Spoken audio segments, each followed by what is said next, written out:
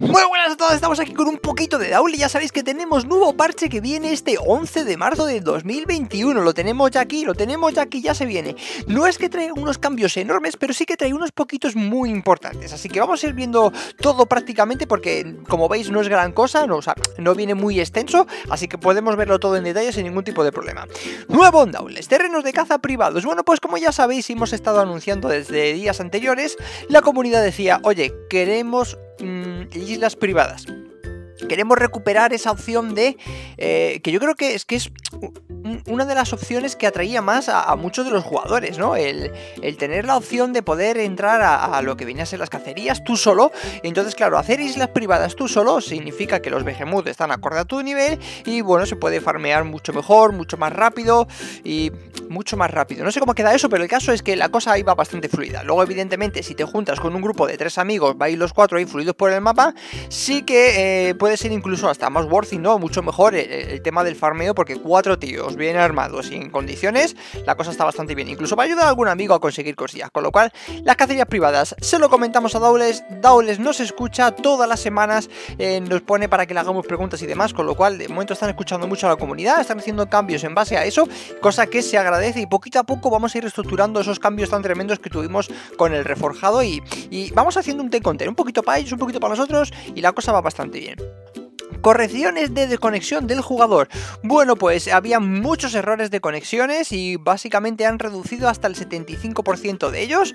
Así que todavía quedamos un 25% ahí que puede dar errorcillos. No os preocupéis, siguen trabajando en ellos, ¿vale? Calidad de vida. Los proyectiles de los jugadores ahora atraviesan la pared de hielo de la vida legendaria de las armas de Luzca. Básicamente ya sabéis que es esa pared nueva que tenemos para poner en el cual, bueno, pues nosotros podemos atravesarlo, podemos disparar a través de ella, pero al parecer los proyectiles pues se chocaban con la pared. Así que la han cambiado y listo. Audio, nos meten nueva música en los biomas de hielo de escarcha y luego también la, cuando vayáis a, a las estadísticas ¿no? de los Behemoth y demás, nos dice que el Torgador, el Lagarus el Erro de Luzca ahora reproducen efectos de sonido de rugido del Behemoth cuando se seleccionan. Pequeños detalles que van mejorando la calidad de Daules, eso está bastante bien. Pinchas ahí y suena el rugidito. Como el que nos pusieron del nuevo Behemoth, el rugido, pues sí, pues lo mismo, igual. Se agregaron nuevas opciones de chat rápido que le permiten llamar a su avatar de Frost Escalation. Recuerda de llamar a Dips. Bueno, pues ya está, pues nuevas opciones. Ensayos.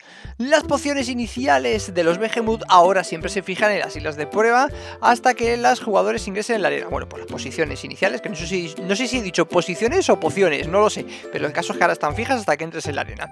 Eh, equilibrio, un poquito de equilibrio. El lucio de guerra, ¿no? La Spike. Dice, se redujo del tiempo de calentamiento de la animación de carga útil de conmoción de lucio de guerra. Es decir, que la animación, pues, se ha mejorado, ¿vale? Se verá más guay ahora cosa increíble. ¿Cómo se juega? Pues, pues se juega con teclado, ratón, mando, switch, hay un montón de plataformas, que por cierto ahora hay muchos cambios para ellos. Se redujo el daño de los Gru en un 50%. Eh, vieron nuestro último vídeo donde pillábamos con los cerdos y dijeron, imposible. Mike no puede pillar de esa manera con los cerdillos. Eh, están rotísimos, el peor Behemoth de la historia. Y les han bajado el daño al 50%. Eh, el 50%, fijaos si estaban rotos los cerditos. Madre mía. En fin, sigamos. Correcciones de errores. Rendimiento. Se mejoró el rendimiento de las búsquedas de escalation de todas las eh, plataformas, sobre todo de Nintendo Switch, ¿vale? Lo de Nintendo Switch sé que sufrís mucho, ¿vale? Sé que sufrís mucho, sois muchos los que jugáis y os están haciendo correcciones. Poquito a poco todo llega. Se ha implementado la segunda ronda de correcciones para reducir la desconexión de los jugadores. Pues ese último 25% que quedaba. Sigamos. Se eliminaron temporalmente los efectos visuales de choque de Kosoai y de Sporestrack Embermain, eh, es decir, el Embermain de, de, de, los hongos, para corregir eh, fallas en Nintendo Switch. ¿Vale? Pues, pues, ya sabéis, os están corrigiendo cosas, están con vosotros, Switch. Los de Nintendo Switch están con vosotros, os tienen aquí en el pensamiento y yo aquí en el corazón sao. Bueno, a ver, seguimos. Se corrigió un bloqueo de, en, el PC que ocurría al abrir el menú ruta de así, pues ya está. Pues si lo abrías y se te bloqueaba, pues lo han corregido. Y al igualmente, si interactuabas con el intermediario y, se te petaba el PC, pues también lo han corregido.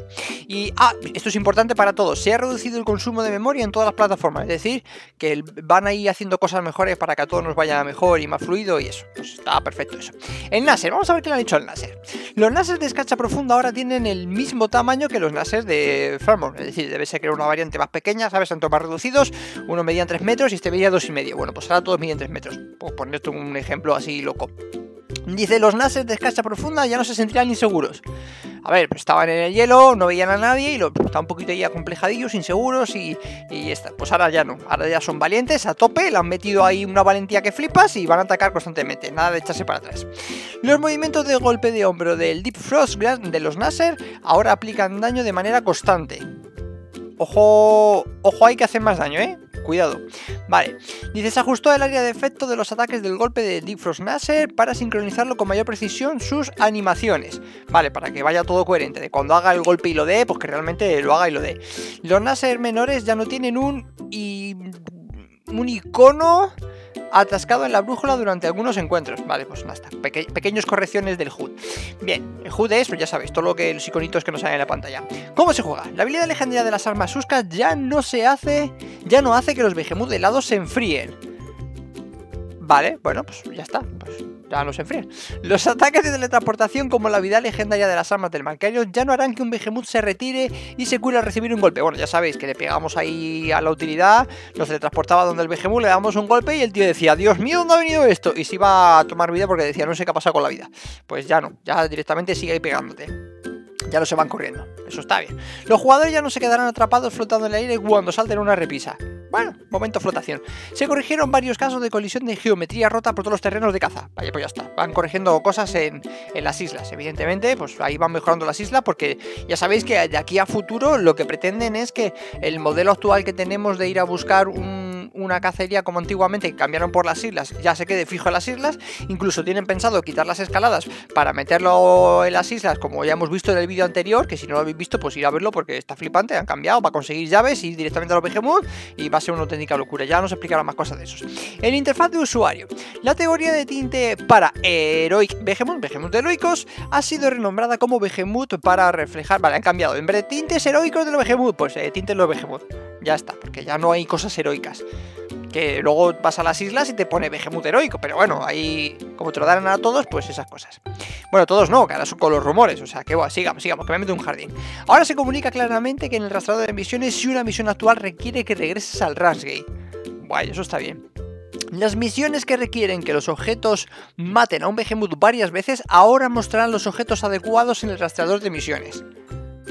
Vale, ok, perfecto, pues mejor información. Si en un grupo se disuelve, sabe, si un grupo se disuelve las Hunting Grounds, es decir, en las islas, los jugadores ya no se verán en sus brújulas. Perfecto.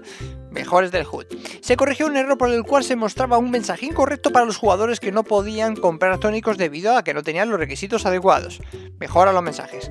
Se corrigió un error en el cual el pilón de piel de hierro tenía una descripción de texto incorrecta mejora las, especificaciones de, los textos. Eso está bien, que luego van a errores y nos confundimos. Una vez más, verá una pantalla emergente cuando se reforja un arma que muestra su nivel actual y la cantidad de corazones de Aether ganados. Esto está guay, para tener mejor información. Todo, mejoras, todo mejoras. Se corrigió un error por el cual la misión de las brasas, resaltada en todas las armas en, la pantalla de fabricación, no solo de las armas, en, en que satisfacen el requisito de la misión pequeños, pequeños errores que van corrigiendo.